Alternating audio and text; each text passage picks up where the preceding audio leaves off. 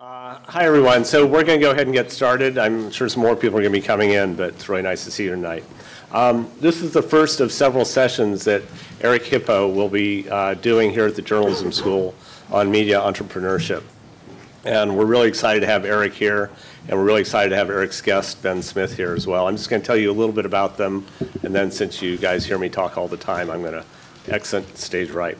Um, Eric decided to become a journalist almost exactly 50 years ago today. Uh, he was, his father was working for the United Press International in London, I believe, and on November 22nd, 1963, does anybody know what happened that day? Kennedy assassination. Kennedy's assassination, very good.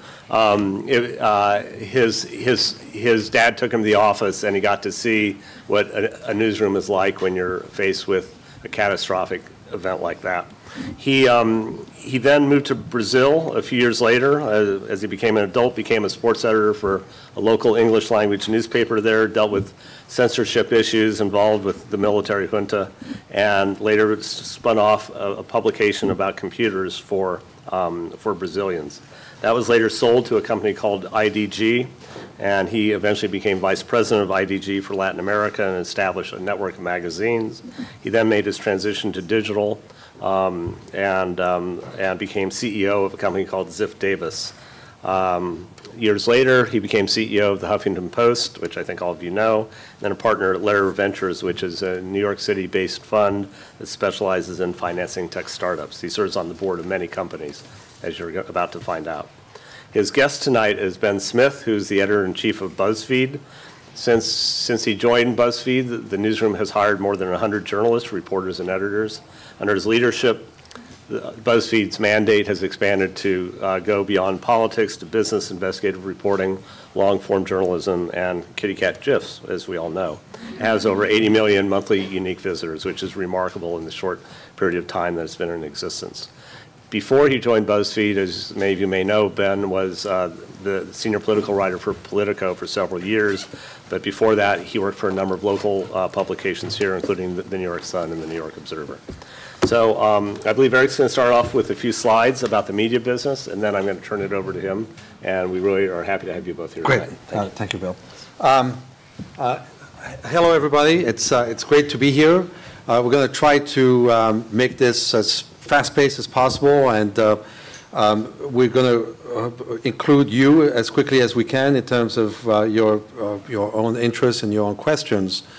Uh, Today was a particularly exciting day because it was the IPO of Twitter.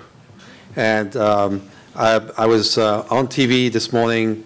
Uh, Unfortunately, they timed it so that by the time I left, uh, it hadn't yet traded, so we couldn't get really excited about it. And I was also on TV yesterday. And Twitter is uh, my favorite social network. Um, and the reason why Twitter is so exciting is because Twitter is all about news. And if you think of, and there's a whole book from Nick Bilton that's coming out, that it has come out, that if you guys are interested in Twitter, I haven't read it, but I've read some excerpts. And, and Twitter was not Twitter to begin with. Twitter was a podcasting platform. And podcasting was a form of journalism that still exists, but hasn't really kind of taken off. I'm not sure how many of you listen to podcasts. I don't. Um, and so when the Twitter team realized that for some reason, or whatever reason, this was not going to work, they did what we call in our business a pivot, and they formed, they started Twitter. And uh, it became what it is. Uh, when, they, when the stock closed today, the company was valued at about $30 billion. So there you have um, kind of a, a, a bit of an extreme. Not many entrepreneurs are going to end up with $30 billion companies. Uh, but there you have a classic case of, of people who had uh, an idea. Uh, this idea had to do with media. A lot of what we do in technology has to do with media. So the, the whole definition of media and the whole definition of news, and we'll talk, you know, when we talk to Ben, we'll, we'll talk a little bit about what is news, what's a story, why, you know, why this and why not that. But here you have a classic example of, of people who thought that podcasting was going to become a major new medium, didn't turn out that way, went another direction, and, and formed what is arguably one of the 10 or 12 biggest platforms and most valuable platforms uh, on the internet. And I would argue that um, pretty much anybody has that uh, chance, or that has that opportunity. So that's what I do. I finance startups. I finance people who are, have an idea. Uh, they went out and they raised money from their friends and family. I like it when they raise money from their mother. Um, and they've, they've, they formed, they did something. They, they have a prototype or they have an already working product. They have something to show me and my, me and my partners. Um, and if we decide that um, it's, it's a, you know, a big idea, that the timing is right, that they're the right people uh, to do that, we give them money as venture capitalists. Um, and then we really roll up our sleeves and we go to work with them or for them, uh, helping them uh, develop their business. And it takes, it's hard to develop a business. And it takes a fam, it takes a village. Um, and you know, the Twitter again, Twitter is a bit of a good example because it's, it's taken them about a little less than seven years from inception to IPO, and and they've had ups and downs. And if you read that book, you'll see that there was a lot of um, intrigues and uh, you know, kind of issues among the, the founders, and most of the founders don't work for the company anymore. And I'm not saying that that's typical, but those things happen. And it, uh, um, so it takes a long time and um, you need to be surrounded by you know the right people, and hopefully uh, that's what we do. So we have about 170 companies in our portfolio. We're the most active early stage investors based in New York. The great majority of our companies are here in New York. 70% are here. The rest tend to be out west in Silicon Valley or San Francisco. And we don't only invest in media. Uh, we invest in anything that uh, is built on uh, uh, consumer technology. And one of the biggest trends of the moment is the consumerization of technology. And the same technology that uh, you, you're familiar with, that you have in your hand, that you use for your personal life, for your entertainment, for your communications, is in fact the same technology that's going to be running the entire world. And um, all new business applications, uh, I'm not, I'm, when I say all, I'm exaggerating. Let's put it most. But um, most new business applications, most of the ways that education is going to work, most of the ways that you know even government is going to work, and you name it, uh, pretty much every sector uh, will be running on the same technology that is used uh, in the device that I have in, my in my hand. So for me, you know, I see this as, a, as an endless opportunity because I follow where this, this technology is taking us, and I find great teams and great opportunities to invest in. So, but let's, let's focus a little bit on news because, um, you know, as you heard, I have, I have a background in news. In fact, I became the editor-in-chief of that newspaper uh, in Brazil, which was a daily newspaper, had a circulation of 45,000. We served the expat community. And I, when I became the editor-in-chief of that uh, newspaper, I was 20 years old. So uh, you can tell that the quality of that newspaper wasn't really, uh, it wasn't the New York Times. Um, um, but I learned a lot. I, I, dropped out of college. Please don't do that. Um, I, I, dropped out of college and, and I learned a lot. And I'm a fifth generation journalist. Uh, so my family has you know, long, long history of, of journalism. Unfortunately, my daughter, who happens to uh, be in her second year at the business school here, is not going to be a journalist, so kind of the buck is going to stop here. Uh, but um, so, uh, and, and then my colleagues, uh, my, my, my colleague Kenny Lerer, he has, a, he has a background in PR and communications and media. So we really like news, and we think that news uh, is a growth business. And when you talk to people in, let's call it traditional media, they tend to think that news is a dying business. And it, there's nothing could be further from the truth. And so we really are in kind of the era of journalism, you know, 3.0. And this is not a very good chart. I, I decided when after I posted it, but um, because um, it, it really what you you really should be able to focus on is is not you know back to 1991, but what's happened in the past five years. And what's happened in the past five years is a really rapid decrease of the traditional media. So um, uh, radio and newspapers uh, and even TV, if you looked at it you know, uh, more granularly, you would see a much sharper downturn.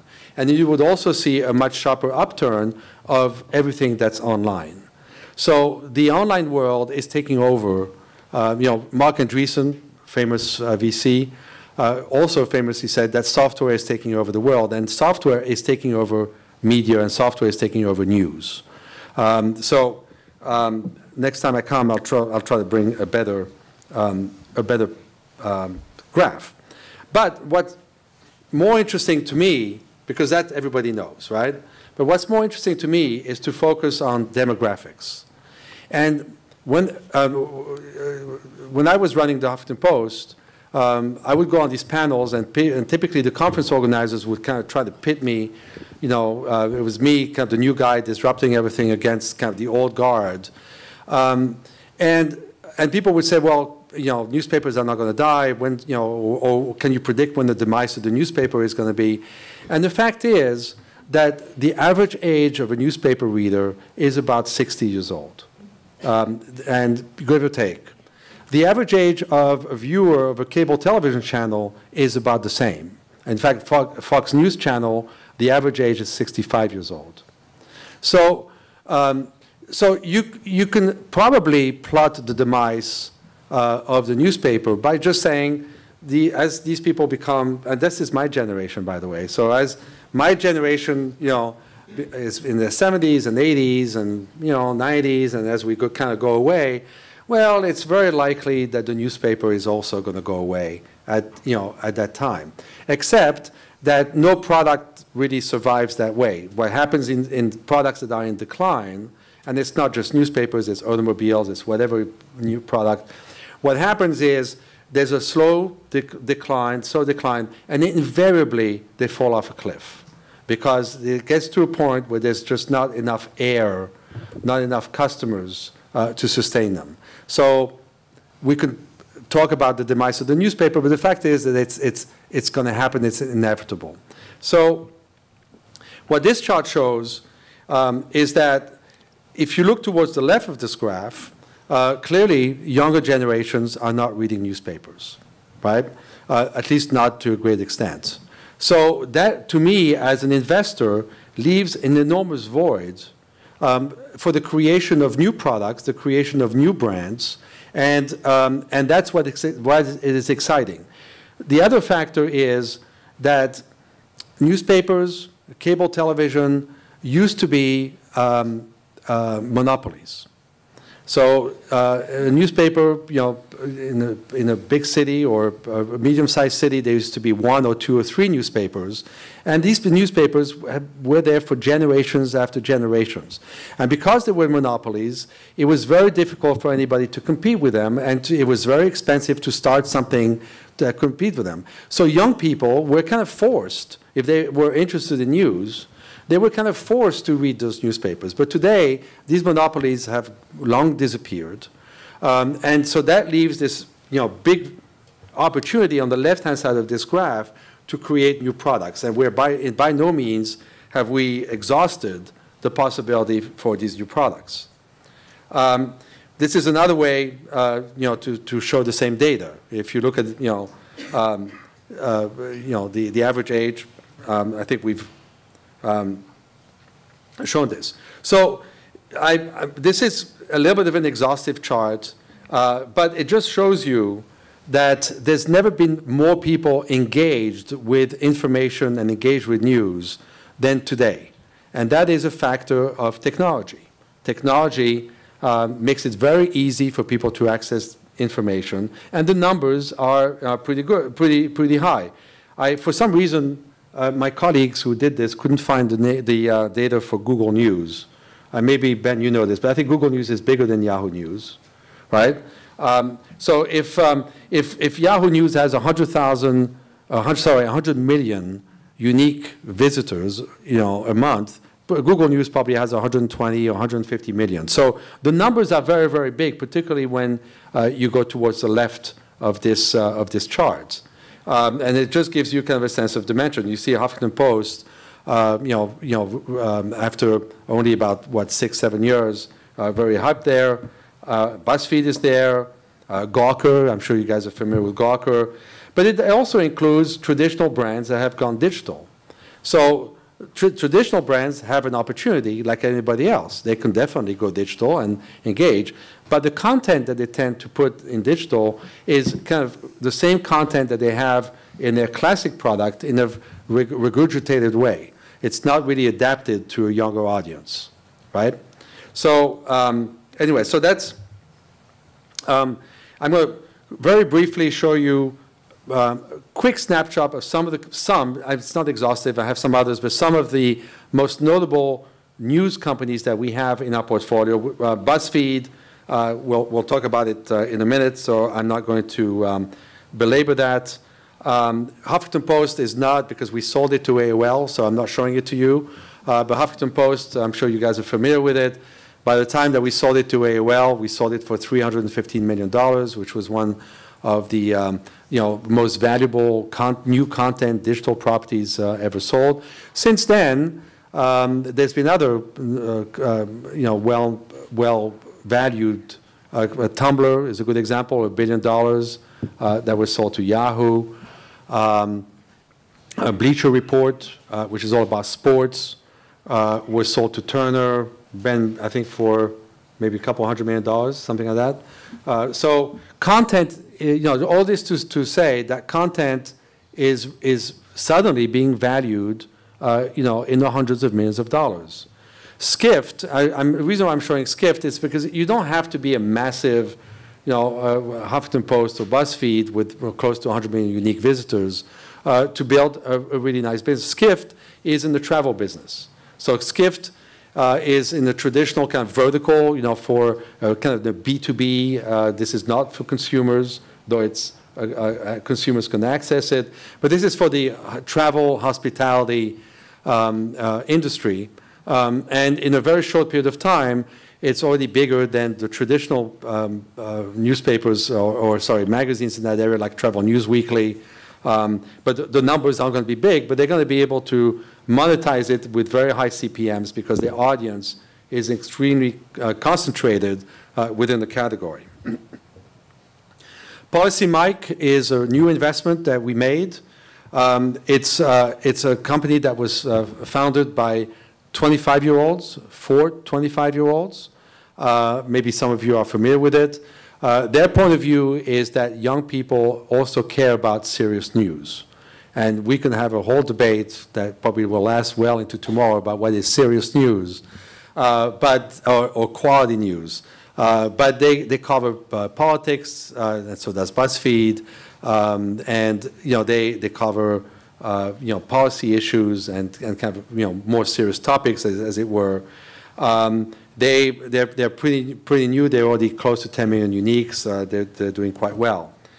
Um, NowThis News uh, is, a, is a company that we started ourselves um, that is um, the kind of the first news organization that is created specifically to be mobile and social. Um, and since we started it, by the way, um, new platforms have uh, showed up, such as um, Instagram Video, Vine, uh, and, of and now Snapchat. So we are now uh, for what it's worth, kind of the leaders in news on these three platforms. So we've learned uh, how to tell stories in video, uh, all original content, in six seconds, in 15 seconds, and we actually are moving away from telling stories in 30 seconds or 45 seconds, uh, and we now tell about 50-ish stories a day. Uh, you, can, you can see them all, by the way, if you download the app, both on iOS and Android, all of these stories will appear there, and you'll see uh, how different they can be when you do only six seconds or 15 seconds, etc. Uh, and then uh, another one is Circa. Um, Circa is, is really kind of breaking news um, on your mobile device. it has about 500,000 downloads. I don't know why we didn't put that number. Um, has a very innovative ways for people to follow the news. You'll, you'll see if you, if you play with it. Um, and again, it's a very, it's mobile centric. It doesn't do video. It's all text and, and pictures and photos. Uh, it's a different, it's another take on, but clearly mobile, and we'll, we'll talk about this in a second. Uh, mobile, every one of you has a mobile device in your hands. Uh, that is um, become the preferred way of, of, of engaging and uh, uh, manipulating information for many more people, for most people, and it's a very different medium than a, a computer or, or, even a tablet. So that's, um, whoops, I don't know what I did here. Um, so that's kind of quick background, uh, a quick view on how we, we look at the market, why we're bullish. Um, And just a, a quick word on anybody who, for anybody who wants to be an entrepreneur.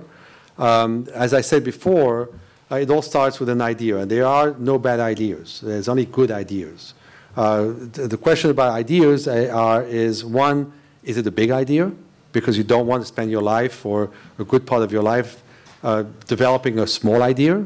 Uh, You want to develop a big idea. Uh, Secondly, is it, is it the idea of, of the moment? So timing is really important. I'll give you a, a very a quick example. Back in the late 90s, uh, there was all these projections about broadband deployment in the United States. That it was imminent, that it was going to happen, there was going to be critical mass. And so there was a bunch of people and investors who put money behind video, and particularly video sharing. And all of these investments uh, basically amounted to nothing, and simply because the projections were wrong. It actually took many more years uh, because of the quirky way that uh, de- of, of deployment of broadband in the United States. Uh, it took many more years for, for critical mass to, uh, to show up. And one day, um, two entrepreneurs who didn't even know they were entrepreneurs at the time because they were kind of, you know, playing around, um, um, founded uh, YouTube. And YouTube was really kind of to share video among themselves, literally, and among their friends. And it took off because the timing was exquisite. The timing was exactly when there was this tipping point of broadband. Anybody, those days you couldn't do it from a mobile, uh, mobile device, but anybody with a computer could easily share uh, video with your family, with your friends, etc. And, and it took off. And so if you had invested before, you lost your money. But also, if you invested after, um, it turns out that YouTube was a winner-take-all idea. That, well, yes, there's Vimeo and there's a few others, but YouTube is 85% of the marketplace. And so it was a little bit counterintuitive that in, the, in, a, in a kind of open market where people could share video, that one company uh, would in fact dominate, but that's the way it happens. So timing is really important, and, and you know, there's no scientific way um, to, uh, to decide whether timing is good. It has to be based on experience and what your you know, kind of observations are. And then lastly, uh, and more important, most importantly, it's the people whose ideas it is and who are going to operate the business. That's what we really focus on. Uh, why are they the right people to do this? What's in their background? What's in their uh, DNA uh, that tells me and my colleagues that this, this, is the right team to back? So if we pass all these hurdles, then um, you know, then as I said before, you would then raise money first with your friends and family. Uh, then you would come to me. I would, I would give you, I would organize a syndicate of, let's say, a million dollars. That's a seed round. Um, and that million dollars would last you for, uh, you know, let's say 18 months. So it's enough to go to market and to show early traction. And by the way, this is exactly the, um, the, the, the, um, the way that we funded BuzzFeed. Um, and then once you have this traction, then you go and you raise what's known as a Series A, and that Series A it could be three to five million dollars, uh, and you you raise it with later stage venture capitalists. So I will continue to invest in that company, but by then you'll have uh, people with bigger funds than mine uh, who specialize in Series A and Series B, um, and then you're off to the races. Uh, and then typically you raise another series after that, and maybe even one after that. But by then you're kind of an established business. So it's, uh, that's kind of the trajectory. Um, it's not complicated. Um, it takes guts. Um, you, it takes a lot of sacrifices. Um, and that's why uh, people in their 20s are the best equipped to do that. Uh, and that's, by the way, as, uh, that's the classic way that we funded BuzzFeed. Um, this, what was not so classic about BuzzFeed is that the founder of BuzzFeed, Jonah Peretti, and some of you might have heard about Jonah. Uh, Jonah was the initial, the um, uh, very first CTO at the Huffington Post. So we knew uh, Jonah really well. We, we obviously, I led the Series A. Uh, I have another fund called SoftBank Capital. I led the Series A in the Huffington Post. That's how I ended up. Um, I'm like the Remington guy. I like the, uh, company so much that I ended up running it. Uh, but Jonah, Jonah is really kind of the creative force behind um, a lot of the Huffington Post, behind the technology. Uh, his background is uh, he's, he's, he's um, passionate about why and how content goes viral, even before it was fashionable for content to go viral. Um, so he was, he was a thought leader on why people share content and what kind of content and how do you identify it and where do you find it. Um, and BuzzFeed, in its initial form, was a technology platform. And by the way, all the companies I'm showing you here all start with technology. So it's technology first, media second. Now, media, you know, they, so, uh, and, uh, and I was on the board of Yahoo for many, many years. It was my, one of my first investments. And at Yahoo, we always had this tension about are we a tech company or are we a media company? And you could tell that tension by the kind of CEO that we would hire. One CEO was a techie, the other CEO was a media person, you know. And, and it, we never were really fully able to reconcile that you're both. Um, and so that's what I tell the companies I invest in, you're both. But you have to start with technology because without the product, uh, without technology being really super relevant to today's world, you're really not going to have very much. So they're technology companies first, media companies second, and maybe the media company becomes the dominant part, but it doesn't really matter because the technology is always going to move ahead. So, uh, so Jonah was really kind of the, the, you know, the, the, the brilliant force behind all the great things that we did at the Huffington Post. Uh, but he couldn't stop being passionate about viral content, and he had other ideas about how to build a technology platform to identify and, um, and capture and kind of double down and triple down on the viral content. And that's why he decided to form BuzzFeed, and we were uh, his initial investors um, as well. So it's, he's very much in the family. So um, I'm going to uh, move down to here. And uh, Ben, Ben was uh, already introduced, but I think, um, um, you know, that I could describe your background, but I would do it injustice.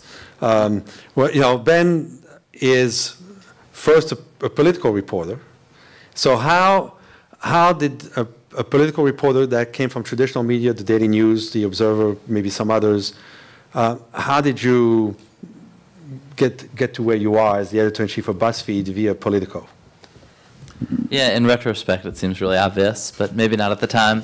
Um, and thank you for that. I, I, you know, I don't come from the world of venture capital, so that was all very interesting to me.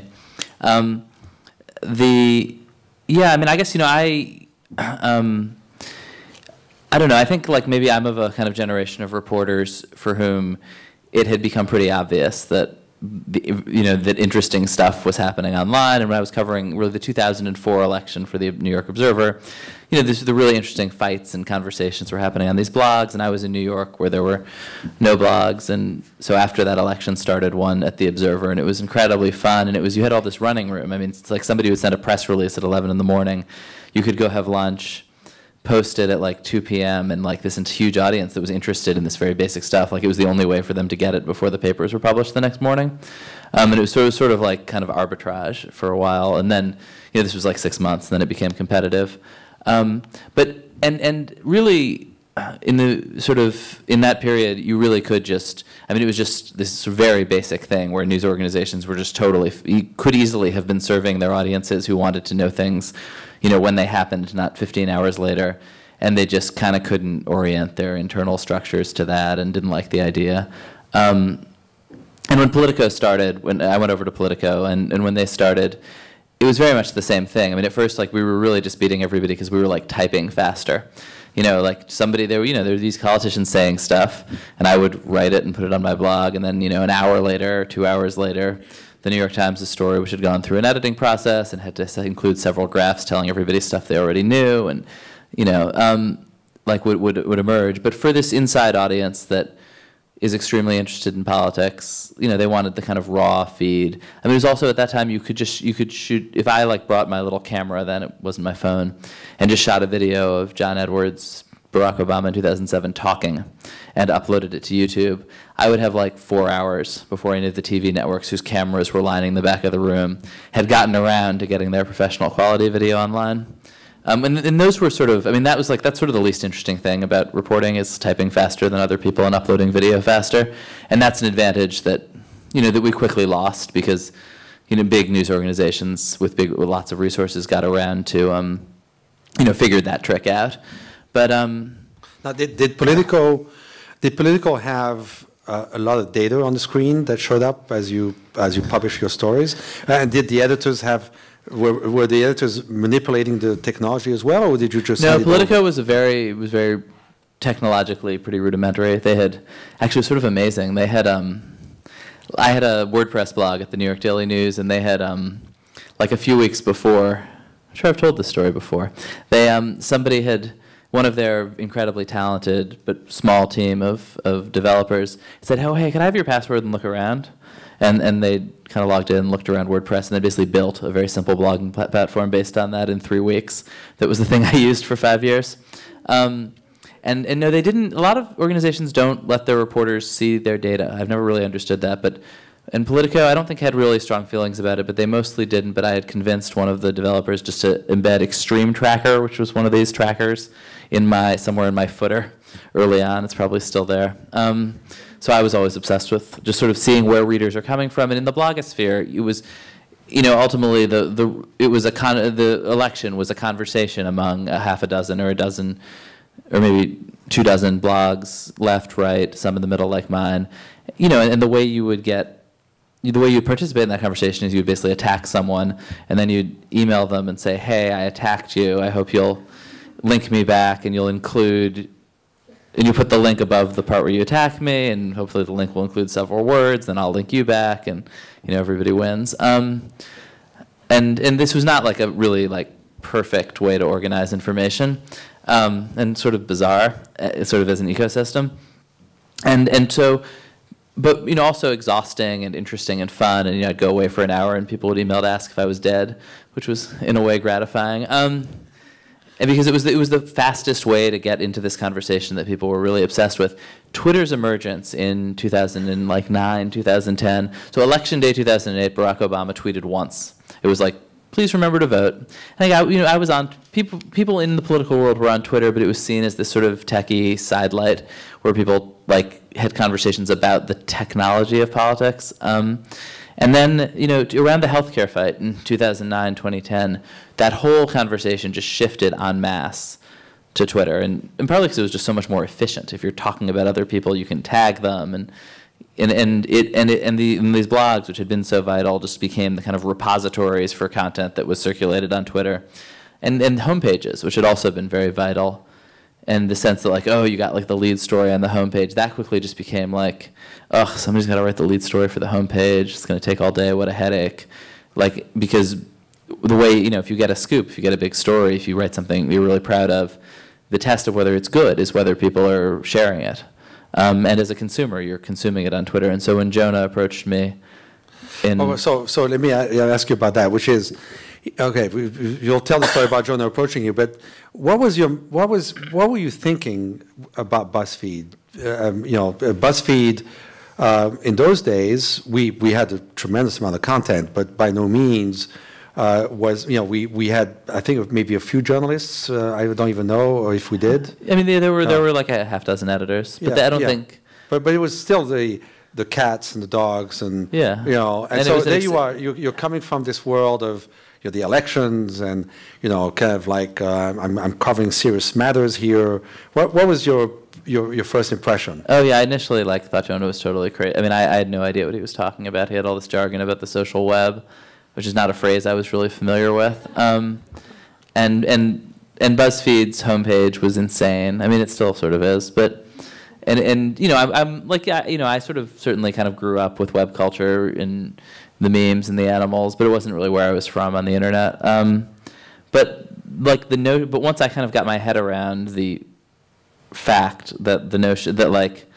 you know the, the, the sort of the central premise of the thing which was like an ecosystem where when people open their computers or increasingly their phones they open twitter they open facebook they don't open your web page like and and the notion of of um, taking that as the premise for at first a political reporting operation and then kind of a news organization, you know, made total sense because that's actually both as a reporter and as a consumer of news, like exact like that wasn't futuristic. That was just how I was living and how my sources were living and how the people. I, I mean, it was just very. It was already because I think politics often is the first place to embrace a change in communications because politicians are obsessed with communications. They're obsessed with the media. They basically only exist if they exist through the media, and, and are kind of in the communications business fundamentally.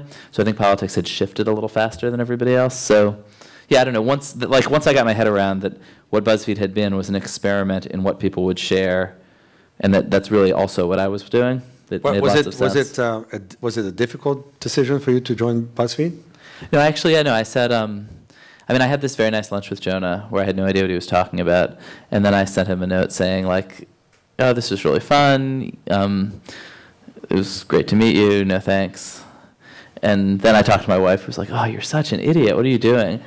And explained to me what he had been talking about, and then I sent him, and then I sent him a memo like the next day, like, "Actually, Come to think of it. yeah." So, so you, um, you, you joined BuzzFeed, and um, the, the mission was to um, make it much more into a journalistic organization. You know, I mean, I guess like that's. I'm not sure I would put it that way. It was to. I mean, it wasn't to. It wasn't at all to to move away from what it had been doing. It wasn't. I mean, it had been very successful and had really like the folks there had really figured out. You know, the psychology, which is in a way the business we're all in of, of what people share, what people read, um, in a very deep way. And I think you know it was, it was and it was to. But the the eco the social war, ecosystem had evolved, and it was to it was to add you know a traditional reporting operation on top of that. How many, how many uh, journalists do you have now, or reporters? Um, I mean, the, the editorial staff is about 130. and you, um, and you have people doing long form, video, uh, um, foreign correspondence. Uh, you now have a whole team in the UK. Um, you just came back from uh, a bit of a world tour, um, in, in, including uh, um, finding it out with skeptical French. Um, so because you now have, um, and we'll talk a little bit more about how you do your French edition and your Brazilian edition and so on. Um, what maybe maybe it'd be useful for people to how, how take us through a story. You know, like you pick a story, you assign it. How, how does the story work, and how does it get distributed, and how how do you figure whether a story is successful or not? I mean, I think in different spaces it's different, but for I mean, for political reporting, I mean, I do think it's it's very much about like where is the conversation now? A conversation that is mostly, not entirely, on Twitter, and you know, like how can we advance this story? Like nobody wants us. Like, it is not news that the Obamacare website is a catastrophe, and we're not going to like and, and and if the New York Times had an amazing story this morning saying that, we're not going to like aggregate it or rewrite it. We're going to try to say, you know, like for instance, you know, our reporter got a tip that actually uh, the Spanish language, there was a particular catastrophe around their attempt to launch the Spanish language thing and reported that out, and that was sort of an interesting scoop in advance. And um, yeah, I mean, I think so. I think, I mean, this is what reporters always want to do: is advance stories, is get scoops, is break news, not. And although you know, rewrite and aggregation also have always been a huge part of journalism. The Associated Press, I mean, is largely a rewrite service. Um, but but the fun, like, but the fun, you know, but the fun part is not that. You talked earlier about web culture because you, a lot of it is driven by web culture. So what, what is web culture? What, how do you define web culture?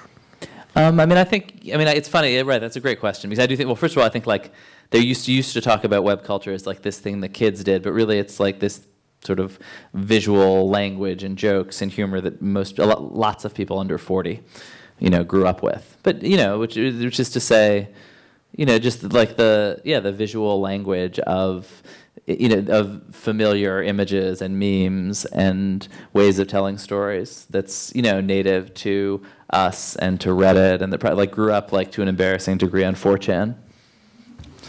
Yeah, uh, with uh, with Chris Poole.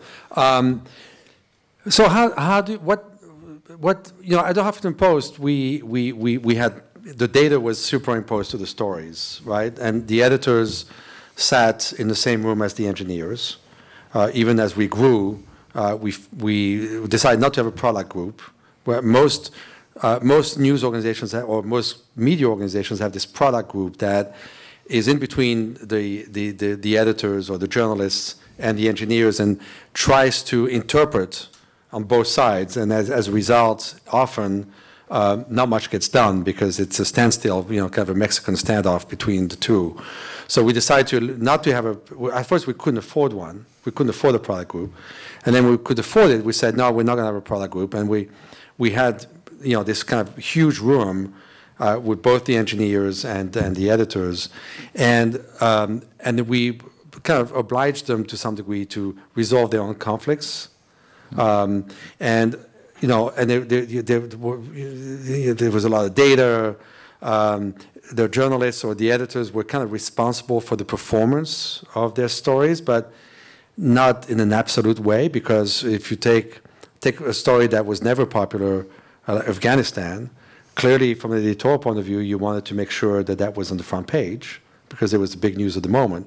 But if you looked at the data, that story would have been relegated to uh, some inside page, right? How, how does that work at BuzzFeed?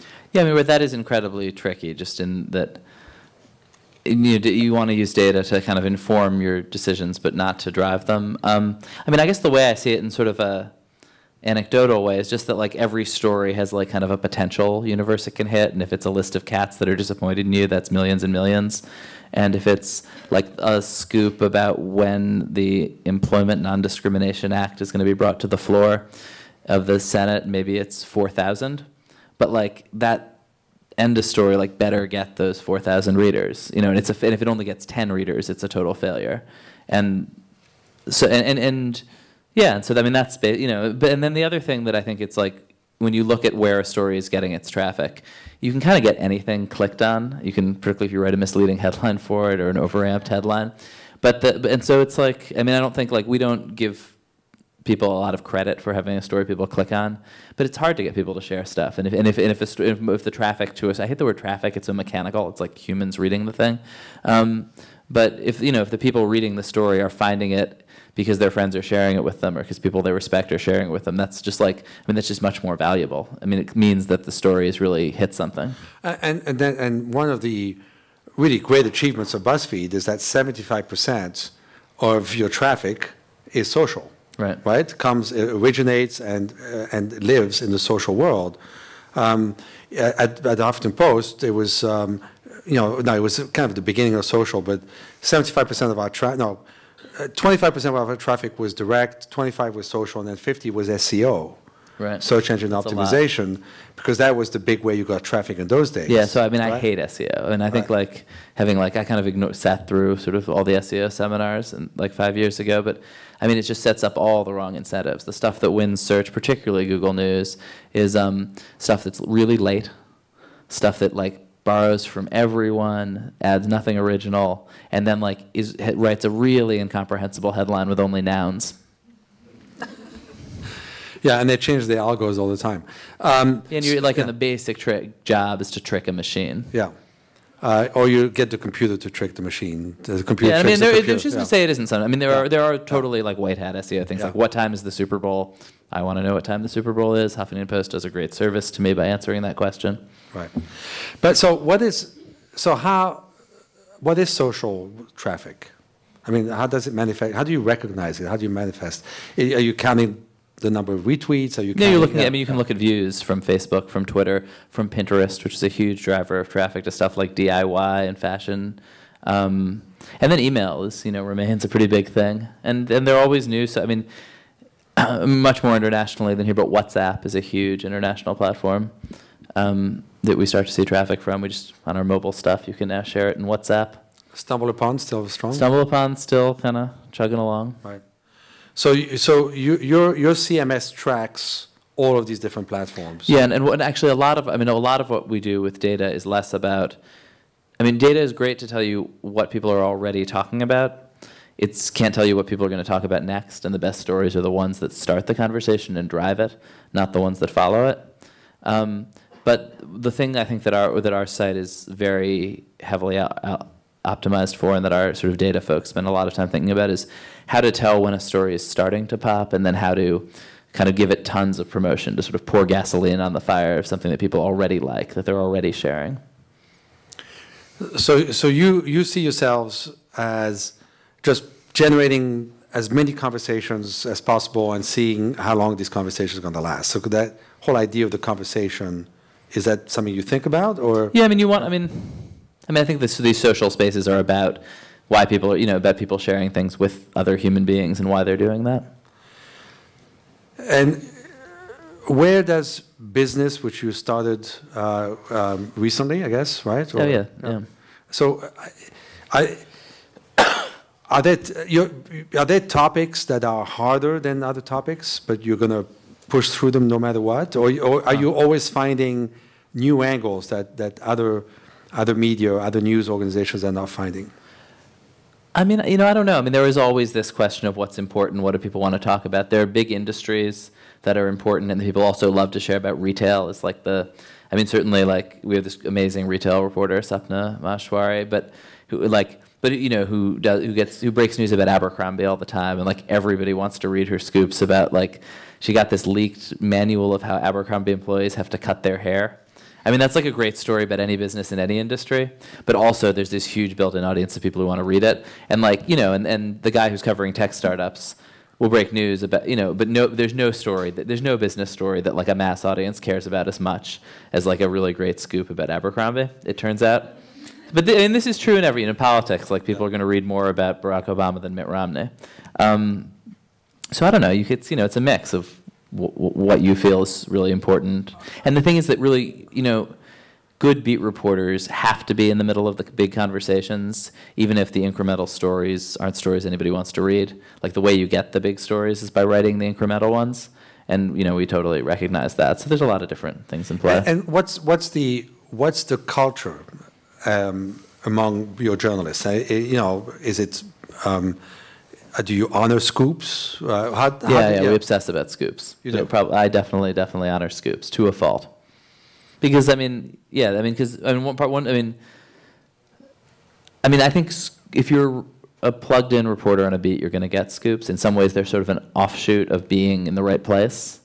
Um, yeah, and, and and they're also, I mean, they're a, a way to get sources. They're how you wire into a beat. Uh, And how- they're also, of course, some one thing people share is new news. Would you, um, would you have, uh, would you have- participated in the consortium that, uh, that published the- the Snowden papers? Oh, for sure. That was a great scoop. The biggest scoop ever, Yes, probably, right? Or at least in the, in the past. Yes, and of the decade. Yeah. Um, Actually, why didn't it come to you? Because they were. I asked, you know, I mean, I, I've been harassing Janine Gibson about this. Yeah. I don't know. I think they felt like, probably maybe accurately, that we didn't quite have the capacity to sort of handle a story like that. But, I mean, we're trying, you know, that's something we're building.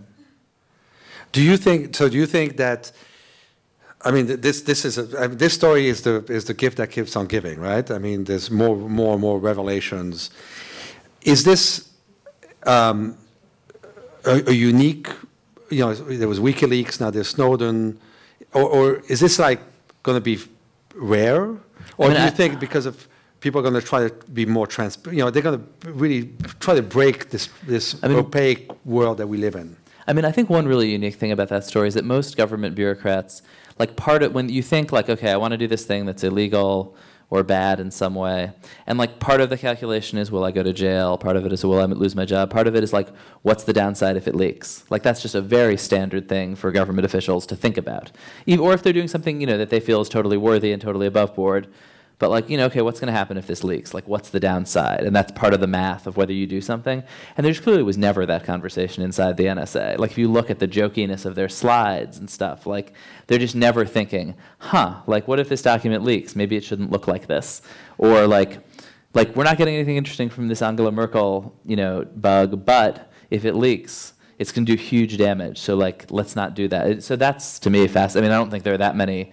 I don't think there are that many branches of government just that totally delusionally arrogant about keeping their own secrets. Um, on the, what was the other question? Well, no, do, you- do you think, Oh yeah, but also Yeah, I yeah. think yeah, sure. I, I think there's like a kind of like a new kind of source, which is like, you know, systems administrators have so much access to everything in every company, um, and I do think like yeah, investigative reporters who can vibe with the Edward Snowdens of the world are going to be in demand. is Snowden a traitor or a whistleblower? I don't know. He's a source. I feel like that. Why? Who cares? Lots of sources. Anybody who deals with sources knows that many of them have like really complicated and distasteful motives. Right. Uh, usually, they're trying to hurt someone. let's talk a little bit um, um, about video.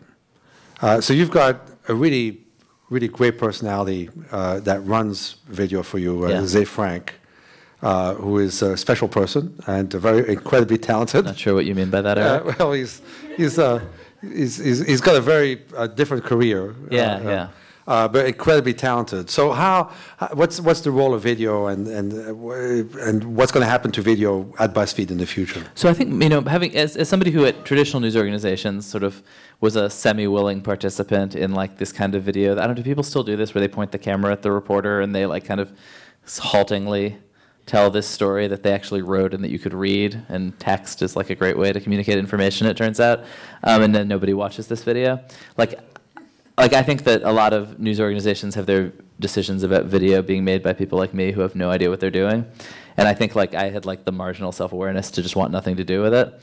Um, and Ze, you know, around the time that I was like, oh, this blog stuff is really interesting in 2004, Ze was, you know, starting to play in the very, very first wave of online video and created this show in the t- like 2006 that, you know, tens and tens of thousands of viewers back then, which is tough and is really like.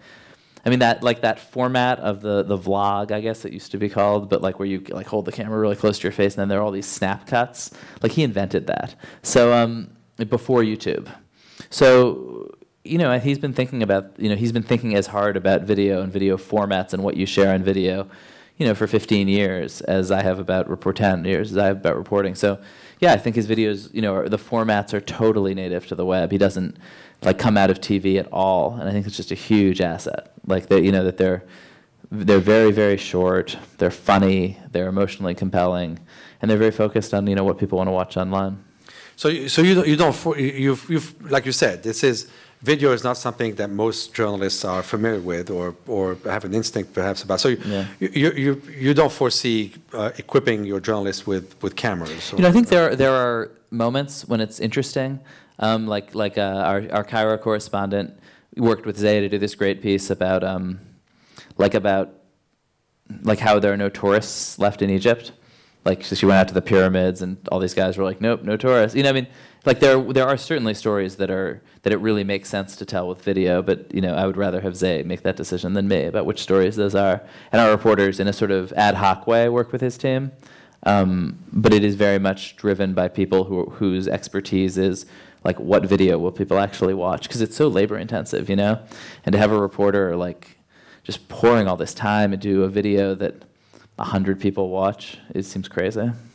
Have you, I, I haven't but yet, but but have you uh, seen uh, Vice News? Yeah, a bit of it. Right, so, so they, they, they're still doing this kind of intrepid, you know, and let's embed people, you know, let's go to North Korea, those kind of things. Are are they, are they, is that what they're trying to expand on? Um, I mean, I don't watch it religiously, but I think a lot of it's really Yeah. good and compelling. I mean, I think they think a lot about. I think they think a ton about how to make compelling videos. But, but that's different, right? This is longer form. yeah, absolutely. okay. Yeah, and I think you know a lot of most of our. I mean, and we certainly are thinking a lot about taking the formats that Ze is working in, that are formats that people love and watch and share, and how to like use those formats for news rather than how to try to like jam traditional news formats into video. So let's, let's talk, and, we'll talk about advertising in a second, and then we'll turn it over to, um, for questions. But let's talk about, uh, and I think um, this is important to the school, investigative uh, journalism, uh, Pulitzer and all that. Uh, um, What's, uh, um, I, I loved your story on Scientology. I thought there was a very courageous story, and all of you are still alive. It was heavily Uh, lawyered. that was that was I think the first time BuzzFeed had commissioned you know outside First Amendment counsel to. Yeah, no, and if, if I would, if anybody, if you haven't read the story on Scientology in BuzzFeed, uh, that you can find it, I'm sure, somewhere. Uh, yeah, it's, uh, it's, it's a, it's really an impressive story, and it came out at a time where a lot of people were talking about Scientology, so it might not They be. had just had that disastrous native ad in the Atlantic. Yes, right. So, um, what, what, what is investigative journalism for you? I mean, I guess you know I, I don't love that term because I think like all good journalism is investigative. Like, if you're not telling people things they didn't already know, I don't know. I mean, the, you know, that, that's that's not the only important thing. It's you can tell super com- stories in very compelling ways, but a very core function of news is telling people thing they didn't things they didn't already know. And I think there's a kind of online investigative journalism that we are good at, and that a lot of people who came up as I did on blogs are good at, which is this very incremental. You know, you sort of notice something weird, you take a hundred bites at the apple. Nobody reads numbers, you know, three through ninety-seven, but at some point you really get something. Rosie Gray had this great series on, like, we just sort of knew there was something weird about these conservative bloggers who were writing obsessively about how great Malaysia was and the Malaysian government. Like nothing, nothing great about the Malaysian government, and nothing particularly conservative about it. And so, you know, we asked them if they were being paid, and they said they were not. And we just kind of kept hitting at it until I guess one of them called his lawyer and said, and when we interviewed a bunch of lawyers, he said, well, if, if people are getting paid, you know, they really need to register with the government.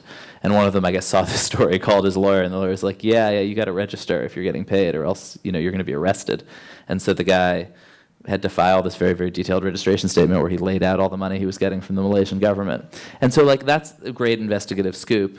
And there wasn't, like, ever necessarily a big, compelling narrative in there. There wasn't, like, a Sunday story. It was just a bunch of blog items, which people who have Google alerts on their names, you know, get their little, that's who was reading it. It was the people mentioned in the stories, and we're getting rattled by it, and eventually we were able to get something. Um, but I think there are other kinds of projects that have kind of a rhythm and a structure and just an investment of time where you need, and we hired this incredible reporter, Mark Schoofs, who most recently at ProPublica, you know, that like you need a lot of experience and it's a kind of muscle that we, you know, hadn't really developed and need and want to. Do, do, you, do you see it as a, as a public service? Or, you know, there's this, there's, there was this movement about how to save investigative journalism, and ProPublica was part of that movement because it's a nonprofit, and they see themselves completely as a as a public service. Yeah. I mean, where is um, is the art form dying? Are people not interested? Uh, I mean, I think a lot of investigative stories. I mean, there are great investigations that produced massive change that probably never had millions of people reading till the end. I mean, you know, like the New York Times has historically done great stuff on like healthcare scams, essentially in New York State. Cliff Levy did these great stories, you know, 10 years ago. And I don't know if people were, I mean, I don't, I'm not, I mean, they were incredibly important, great stories. I'm not sure they were solely about getting eyeballs. Um, I don't know, and I think I love ProPublica. I, I you know, I, I try and, I like, I don't know, I guess I prefer not to think of stories as services just because I, I want them to be well told and compelling and interesting, but, and uh, so I don't know. I mean, I, but but obviously, you know, you want to make positive change, and that's part of you know that's part of why you're in this. And, and what about the fine line between either investigative journalism or journalism period and advocacy? Um, yeah, I hate advocacy. Um, partly because I think like I think you know telling people to be outraged about something is is like the least useful thing in the world. You know, if you have a set of facts that are incredibly compelling, you don't then need to go and tell people that they like they really ought to be upset about this. Like I don't really see what that adds. Okay. All right. So let's uh, let's move on to the business model. And um, um, so for the first whatever period of time, two years, I guess, uh, Jonah uh, said we're not going to take um, display advertising. We're not going to we're not to um, plug in the uh, the ad networks. We're just not going to do banners. We're not going to do any of that. Uh, for for the very basic reason that people hate it. Uh, so why put something on your site that people hate? It's a little like YouTube with these uh, 60 second, uh, you know, uh, preload, pre preload or, or um, everyone hates them. So why do they put them there? It's, nobody has uh, had enough imagination to create an, another form of advertising that people would actually enjoy. And the fact is, advertising is not only does it pay the bills, but um, you know, people if, if it's done right, people enjoy advertising. It's informative. It helps you make decisions about what product to buy. Might make you discover something you didn't weren't aware of. Uh, but it can't be intrusive and it can't be annoying, uh, etc. So Jonas said, you know, and I remember the board meetings where we were getting a little like, okay, uh, you know, you know, the, the costs are going up, and you, you're refusing to take advertising. Uh, what's what's what's the big idea? What are we going to do? Um, so eventually um, um, we created, or he created, or his team created, um, kind of sponsored content. You know, the, the, the one, the sponsored content that you now see uh, on BuzzFeed. And as is typical in these kind of innovative ways of, um, of monetizing, we went through an experimental phase. We being the site, BuzzFeed, as well as the advertisers.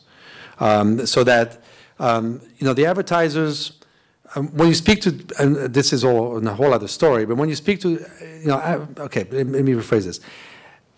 Advertising is a laggard business. It's not an innovative business, and that's why today uh, you see, um, you know, almost $100 billion worth of advertising that's still spent on, on television, mostly broadcast television, when for the most part the eyeballs have moved away. So that is, you know, shows you how much of a laggard indicator or laggard business that is. But if you go to direct, so that and that business is managed and and uh, controlled by the ad agencies now on behest of the clients for sure. Um, but when you go to the clients, when you go to the CMOs, chief marketing officers, and their people, their staff, um, they recognize that you know there's this enormous transformation going on in marketing, bigger than uh, maybe ever since uh, TV was created uh, uh, right after World War II. So this is the biggest transformation, and I actually give presentations to marketers where um, my the title of my presentation is is the CMO the next CTO, and I don't mean the next chief technology officer, but I mean the next consumer technology officer. And the fact is, it's well demonstrated that uh, marketers, CMOs, are buying more technology today than most IT departments because everything that they're doing and everything they're buying um, is technology. And they're really not prepared. You know, they don't see themselves as buyers of technology. But when you go and speak to them directly, they, they know that the world is changing, and they're very interested in any new ideas, um, any experiments. So with BuzzFeed, uh, the company, just, you know, uh, had a few formats that they were comfortable with, that they felt was, and, and, we'll talk about how the editorial people feel about those in a second, but that they felt, felt were, you know, appropriate and so-called native. I don't like, I don't understand what native advertising is, but that's the word that people are using that you know they, they flow with the rest of the content and yet they are well marked as being sponsored by, by somebody. So we went through this phase where uh, we would tap into experimental money that the, the, the marketing departments had. Uh, and then when it was time to scale that, and that happened for about eight months or so. And then when it was time to scale that, uh, we productized um, this, this um, um, sponsored content and then went to the agencies. And today, the bulk of the business, at least the money, um, if not the ideas, the bulk of the, the money comes from the agencies. And the business has scaled to the point where BuzzFeed is more successful at the same period of time than the Huffington Post was, um, you know, um, when we had it. So that's, that's kind of the, the quick you know, business um, bringing it up to see. So how, how do you feel about sponsored content? And, and you know, what, what, where, where is there a gray area between kind of church and state? That is this is something you think about? Yeah, I mean, I think about it a lot. I've actually like had the luxury of never working at a place where there was ever like an ad side interference in um, in you know in content. And we have a very kind of traditional separation, which is basically like sometimes advertisers call up and yell at me, and I don't tell the reporters about it, and that's kind of the deal. Um, the um, and I, I, think that yeah, like I, I, like the tradition of advertisements that aren't horrible. At one point at Politico, my blog was sponsored by the dictator of Uzbekistan for a week, with like terrible design. Um, and there's just nothing worse when you're a reporter than you know you write a story and somebody tries to read it and this thing drops over the page and flashes and you can't find the little X to make it go away. I mean, it's like horrendous. And I mean, not not to mention as a reader. And I think, well, yeah, like there's this alternate tradition, which actually, like, I think like um, fashion magazines in some way are the best embodiment of, just in that, like, if you cut all the ads out of Vogue, it would be a worse magazine, not a better one. And the ads are produced, you know, at great expense with great care. Nobody's confused about whether they're ads or not, but they're good. I, I used to, uh, as Ziff Davis, we used to have a magazine called Computer Shopper. That was uh, 1,200 pages of computer stuff. That was and people probably bought it for the ads. Yeah, yeah, yeah. But so I don't know, and and and I, you know, I think like it puts a huge amount of pressure on our the people, the creative team at BuzzFeed who don't, you know, who report up to the business side, that like they don't ride along with, you know, like like you know, a display ad can be whatever. If you have a great story, whatever's in the right rail, people will see. But that's you know, at BuzzFeed, like they just have to make interesting posts that people will read and share, kind of on the merits, and actually have to like. So yeah, you'd obviously rather be, you know, near on the same site as entertaining, fun, interesting advertising than like terrible, distracting advertising that chases people away. Yeah, and just to be clear, the, the, the content is not created by Ben's team. It's created by a separate team. I mean, I do think you know there's this tradition of advertorials. Obviously, that like if you look at you know the Economist or the Times, there'll be like an insert about you know beautiful Uzbekistan or wherever. Um, which, you know- nobody, which nobody reads. And, and I, I do think there's this. I mean, you're right that nobody reads, and but also in you know, like the bottom right hand of the New York Times editorial page, there'll be this one with a black box around it that's sponsored by the Petroleum Institute or something.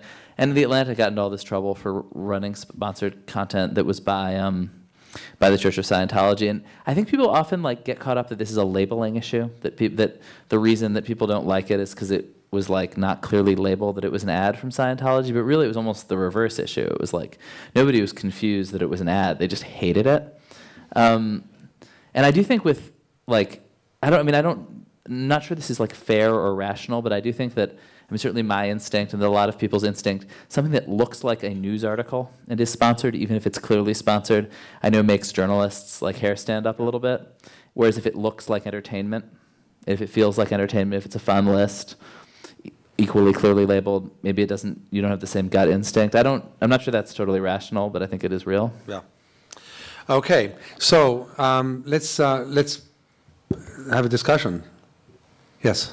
So with BuzzFeed, you have this company that started out in a very different place than where it's trying to go right now. Um, is this sort of dichotomy a pivot? Is it BuzzFeed trying to? I don't know, that's like that's that's VC jargon. I don't even know what it means. Pivot. Is it like, are we gonna start seeing it shift? But no, we're definitely not moving away from anything. Like we have like way more cats than we ever did, and um, And more listicles than ever yeah, before. and more lists. And lists are you know eternal. Like the the Ten Commandments has been pretty viral for a while. Um, the um, but no, I don't. No, I don't think it is. I think there's like a logic to what people were have been sharing. Like if five years ago people were sharing pictures of like themselves and their kids and their animals, and then maybe also other people's animals and memes.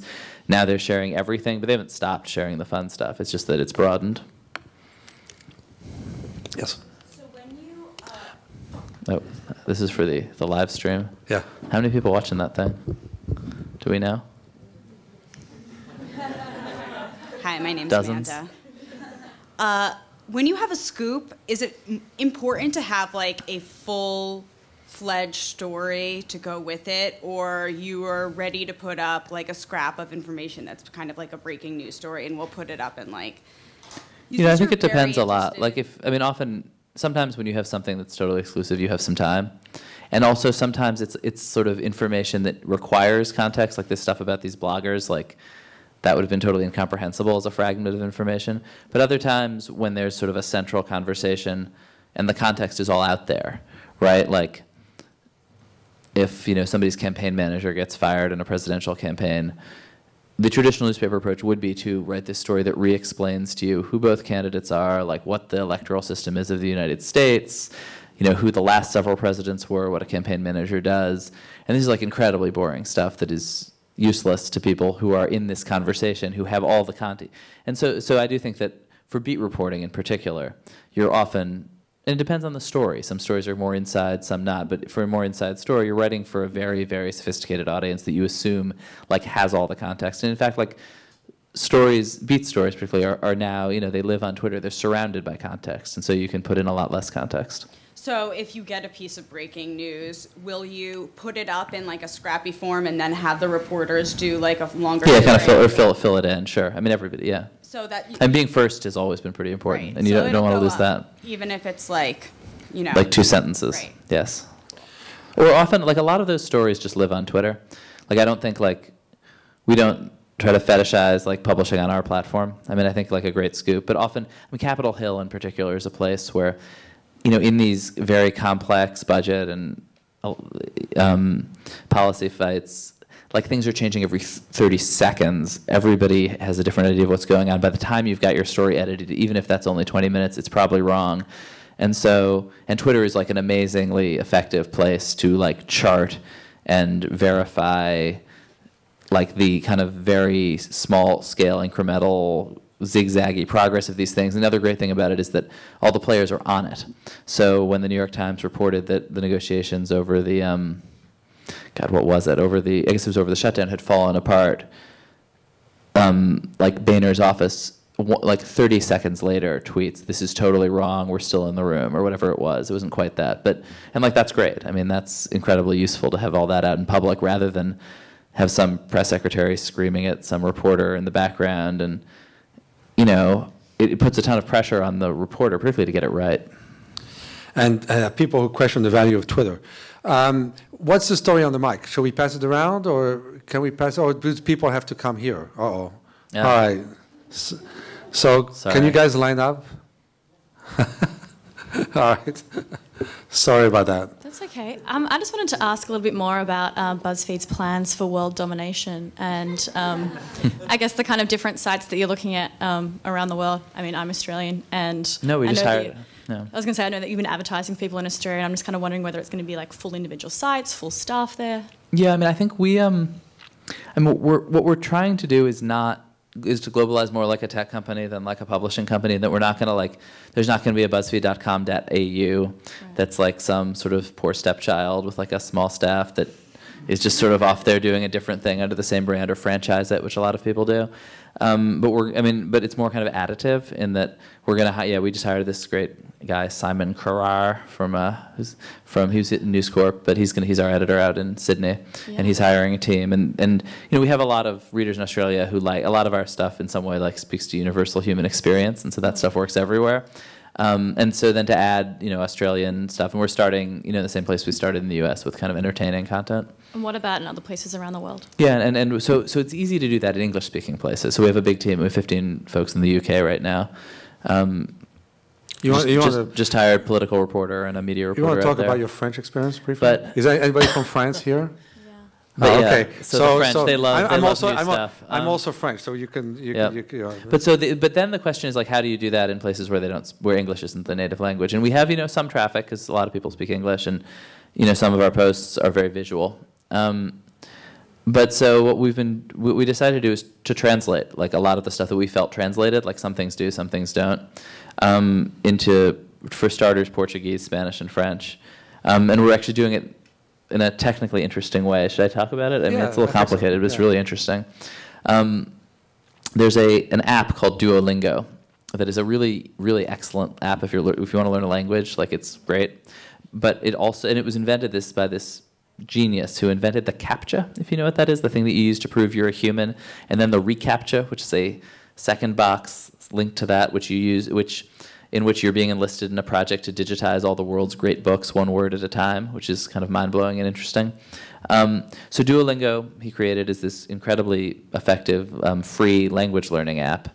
And one of the things that language learners do is translate BuzzFeed stories. And algorithms then decide what the sort of consensus translation is and pop that directly into our platform. And then an editor who's native speaker goes over it and irons it out, usually. I know. now put this in the context of France. And but so the French, so so I, I like launched it. So but and so we're building teams in in Sao Paulo and in, and we will in Paris. But we you know we launched with an editor and these translations and I don't know. Yeah, the French gave us sort of a hard time. They aren't that into new things. You can imagine that the whole concept of, uh, m- you know, kind of crowdsourced or machine-sourced uh, translation. oh, um, they didn't even get to uh, that. To get upset about the whole the whole BuzzFeed thing was. But then but then we got all this press around like the the chilly reception, like BuzzFeed gets chilly reception at Sciences Po. So that got us a lot of traffic to our homepage, and French people seem to like our content. Thank you. Thanks. First of all, 40 people are watching on the web now. That's that's a lot of people. Um, Live video, so it's overrated. um, I think it's also going to be archived, so more people might watch it in the future. Dozens more. But this is not a format that people actually turn out to watch, like guys talking into microphones. That's a bit rude to the 40 people watching at home. Sorry, now. guys. Thank you. Thank, oh, thanks for watching. Stay tuned. Um, okay, so two very short questions. One, um, the Ze Frank videos, are you planning to expand from LA to the East Coast at any point? Um, and second question's kind of bigger picture, which is in the 2013 plan that Jonah released to the staff and the wider world, um, news was the number one priority. So where do you see the balance going forward between what you say, the kind of essential what BuzzFeed's known for, which is its brilliant, hilarious lists and so on, and GIFs and memes and the rest of it, and, and hard, real news. Um, let's see. So I, I think you know Ze is sort of leading this kind of cult out in LA, kind of reinventing video, and they have a very strong culture and like a really A, a cult? uh, yeah, and and cults tend to have very strong cultures, and um, and and just but really like so no, I think he's I think they're basically keeping it out there for a while because I think it's they're doing something very new and trying to train people to do this new thing. Um, uh, you know, I guess we feel like I don't think that list was meant to be a ranking, um, and you know, I mean, I think we feel like we don't have to choose. That most people, you know, want to know what's happening in the world and also love animals. You know, and, and that and that we so we're pushing as hard as we can to expand in both directions. Thank you.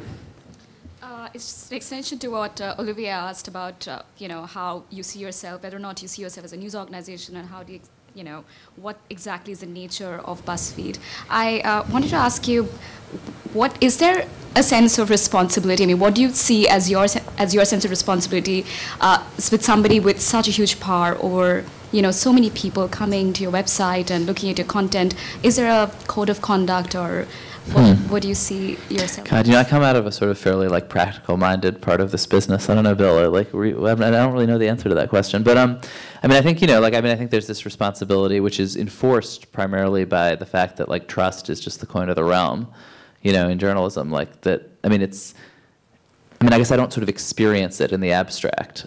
But you got to get things right. You have to be honest. You have to be fair. People, readers know when you're not, even if you're kind of. And I think that like.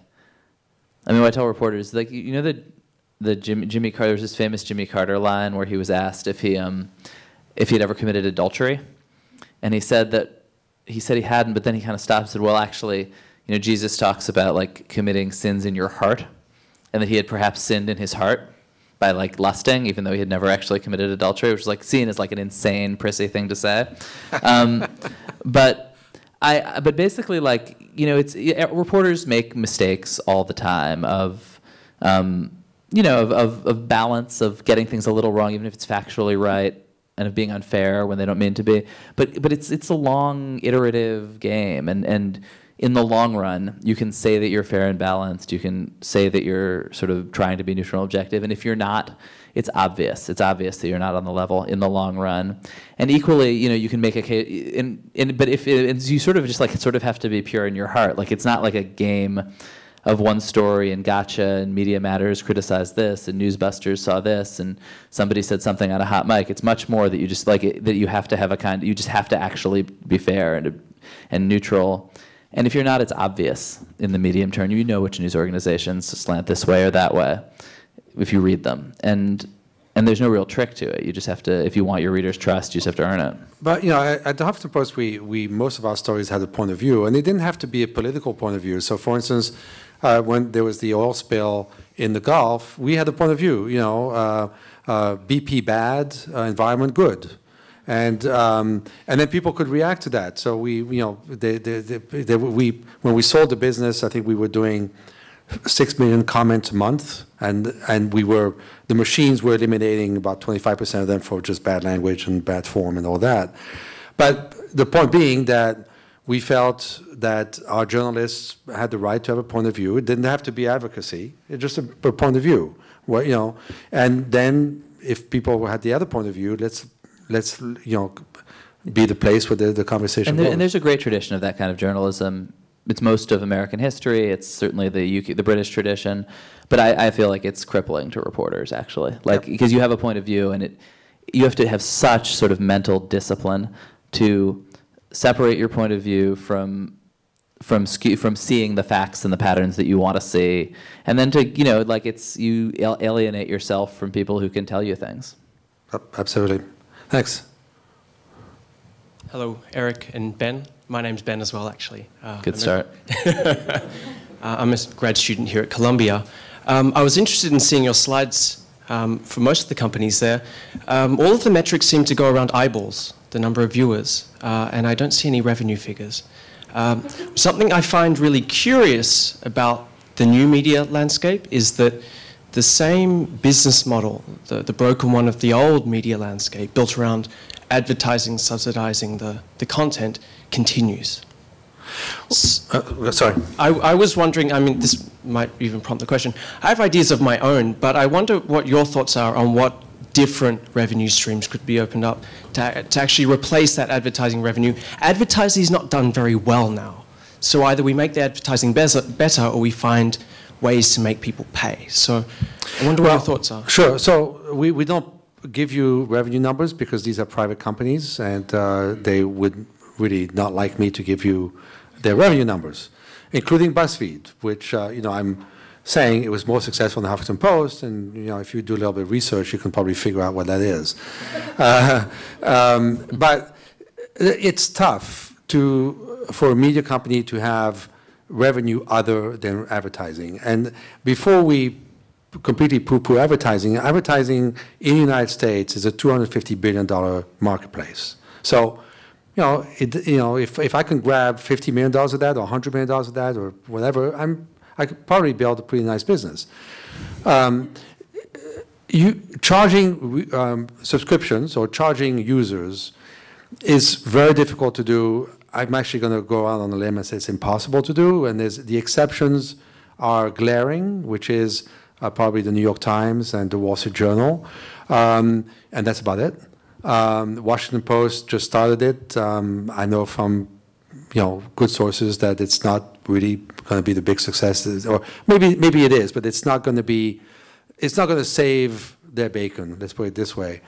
Um, um, there's a good example of where it actually backfires on you. Take the Financial Times. Financial Times, super big global brand, bigger than the Wall Street Journal, um, went into a paywall from the very beginning. Today, it's hard to get data, but best sources say that maybe they have 150,000 subscriptions and they've killed the brand. You know, it's, it's a brand that is going to disappear because uh, you can't share their, you know, they still have great journalism. You can't share it. If you can't share it, you're going to lose your brand. So charging users, for the most part, not going to work. Um, people have tried um, commerce, um, you know, selling people stuff on the site. That's not why people go to a, news site. So ultimately, you end up with advertising. Uh, How about if we thought beyond? I mean, subscriptions were always a model as well. How about if we had people pre-commit for the, the newspaper articles? So the journalist was to pitch an idea, say, and then that small segment of the audience that would be willing to pay quite a lot of money to see it Yeah, was able to contribute Donations. Um, Well, some people are trying In it. a way, they Who's the journalist came out the, the Daily Beast? Who's um, uh, anyway? It, you, I, I'm not saying impossible, but remember, it's got to be a big idea because if you're going to spend uh, the you know the good parts of your life doing this, don't do it for a small business. You're wasting your time. Yeah. So that might work, but it's not going to be a big business. okay. Thanks. I, I think that's the last question. Yeah. Okay. Um, question for Ben Smith. Uh, first of all, can I have a job? And second of all, what are you looking for in reporters outside of good reporting? Huh? Yeah, most, most, mostly good reporting. How does he apply for a job? Um, we, you know, we have, we have like a jobs page on the website. Um, is mostly how you apply. I mean, I think for like, I mean, we, you know, we mostly try to hire people who have. I mean, I feel like this is like the most traditional advice in the world, but you know, who have some kind of experience, you've done great reporting, who've broken stories, and I think like New York City is often like a really tough place to get that experience because you go work for a media company here and you're getting people's coffee, and there's and like I mean, this is like I mean, the regional regional papers, like some of which kind of barely exist, but in a way, the more like strapped and skeleton staffed a place is, the more you're going to get to do. Um, so yeah, I would. I mean, I, you know, like, I think it's like if you can get out of the city and go cover crime somewhere, that's pretty much the best thing around. Bill? Are we, uh, are we good? Well, I, I, th- I think we're really good, right? Okay. um, so I, I just want to give just a couple minutes of context. When, when Joseph Pulitzer created this school, he actually said in the charter, the business of journalism shall not be taught here. Now, hopefully there's no relatives of Joseph Pulitzer to argue with what we're doing, but about four or five years ago, we started a business of journalism course that, as many of you know, is taught by Martin Nisenholtz and uh, Adam Klein, and we've extended that in many ways into the MA program as well. Because it's very clear, even though journalists have been insulated from this message for a long time, that there's a real nexus between the business imperatives and the kind of journalism that, that you get and ought to do. And that was really our purpose in bringing Eric here over, over the course of this year, and I think bringing Ben here has kind of helped reinforce that. So as we've announced, we have Eric coming back next month. I forget the exact date, but it's in the email, and we'll send out a- a reminder, and then hopefully a couple more in the spring, where we'll get more into kind of how to think about building a business and creating a business plan. Is that right? Uh, If that's what you want, sure, we'll do that. Well, Yeah. or, or, or if people have any Yeah. other ideas, feel, feel free to email me. But in the meantime, you were both really generous with your time and your, and your candor, and we really appreciate it. So thank you very Good, much. thank you. Thank you.